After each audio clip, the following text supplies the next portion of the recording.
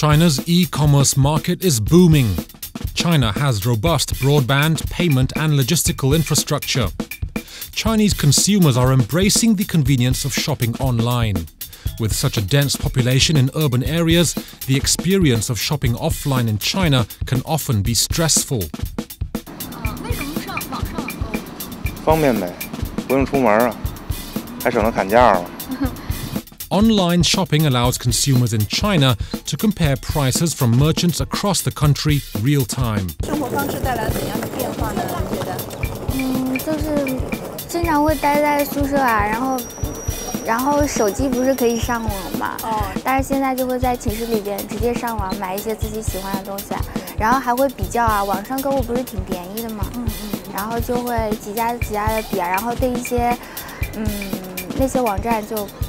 经常会去的那种。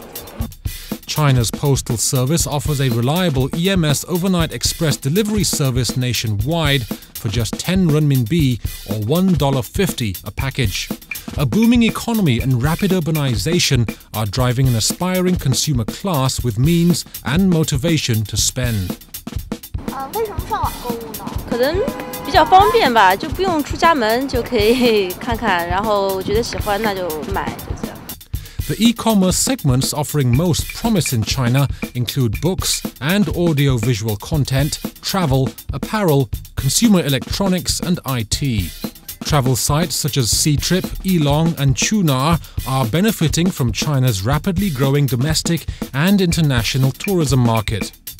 Books and AV content in China, as in the US, are well suited to online sales. Dangdang and Joyo are the leading players. Chinese e commerce behavior is very different from the US. Chinese consumers prefer to buy new things at fixed prices rather than bidding for used items in an auction.